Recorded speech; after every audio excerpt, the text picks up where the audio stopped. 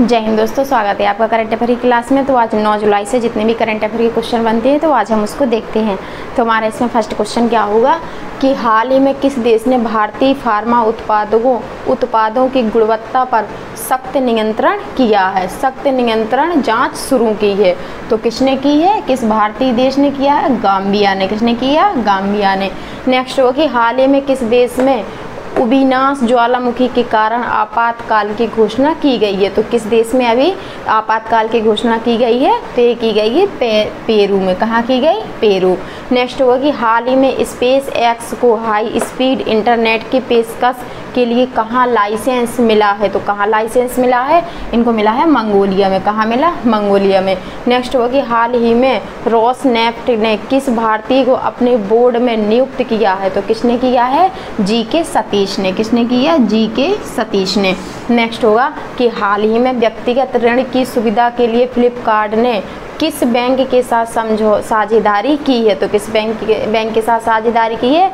ये की है एक्सिस बैंक के साथ। किसके साथ? एक्सिस बैंक के साथ। नेक्स्ट होगी, हाल ही में भारत और किस देश ने चुनावी सहयोग समझौता ज्ञापन पर हस्ताक्षर किए? तो किसने किया है? पनामा ने। किसने? किस देश ने किया है? पनामा देश ने।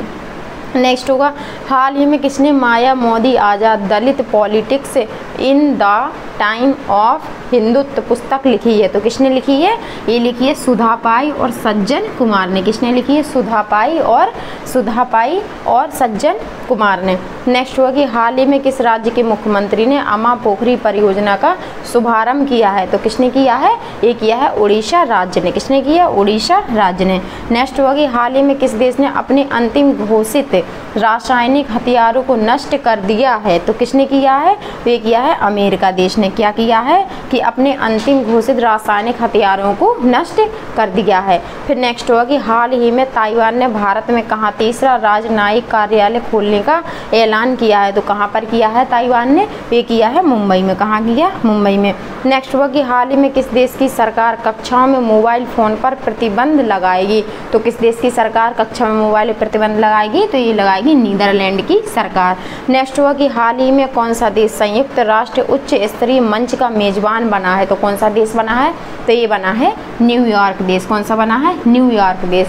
तो दोस्तों, ये करंट अफेयर की क्लास है। अगर आपको अच्छी लगी हो तो वीडियो को लाइक और शेयर ज़रूर करें। Thank you